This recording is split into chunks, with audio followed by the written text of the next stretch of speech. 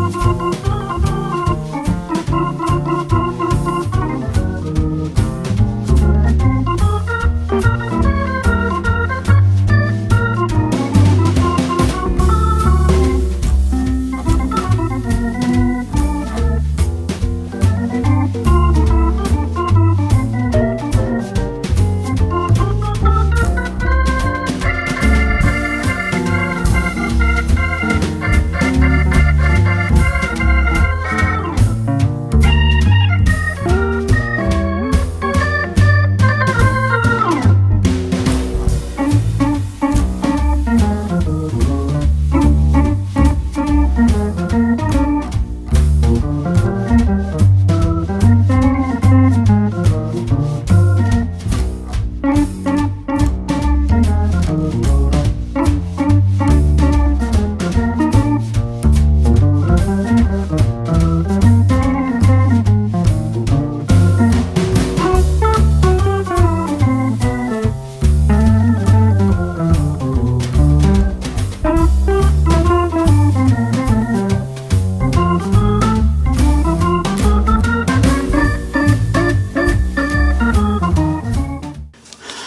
guys. So what I did is I just went ahead and I played um, this, what used to be a tower of pots and pans. I got this um, shoe out of my just goodie jar. Not goodie jar. My goodie drawer. Um, just with lots of stuff in it. This girl, she was really cool. I just thought, you know, I liked the way she was sitting here. So I used those pans on that for her to sit on. And just because everyone has to climb mountains, and we all do. So I hope you guys have enjoyed this. This is another one of my favorites. I love to just play. As always, like, comment, share, and subscribe. And if you have any questions, leave them in the comments below, and I will chat with you all soon. Thanks for watching. Bye.